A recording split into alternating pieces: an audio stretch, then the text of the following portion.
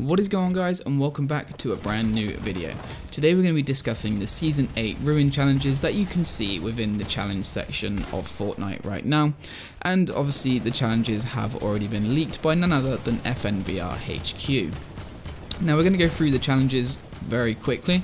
Uh, so the challenges are destroy trees, uh, you got to destroy 50 of them, destroy rocks, 35 of them, destroy cars, trucks or RVs, you have to destroy 20, deal damage to opponent structures.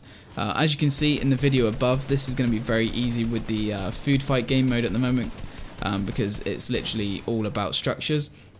Uh, so you got to do 10,000 damage to opponent structures. Again, with this game mode, it's going to be completely easy.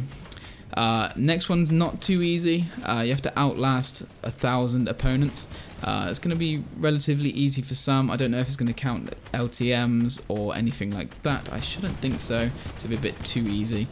Uh, but that's going to be that one. And then the final challenge is you're going to have to complete five daily challenges, which again shouldn't be too much of a problem. we get like two to three of them a day anyway. So that's going to be all the challenges. Uh, and what they're going to unlock is the uh, Dying Light back bling and the Ruin Dread pickaxe. So what I'll do is I'll put pictures of them up on the screen right about now so you can see them, save you going into the game.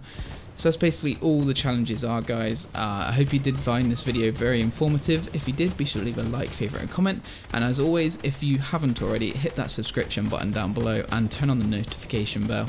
That way, whenever I upload one of these videos or the video goes live, you will get notified straight to your mobile device and you can be one of those people that can be the first person to comment or whatever. Also guys, I'm trying to build up my Twitter and my Instagram, so if you could go ahead and give those a follow as well, that would be absolutely amazing. Hope you guys enjoyed the video. If you did, be sure to leave a like, and I'll see you in the next one. Peace out guys.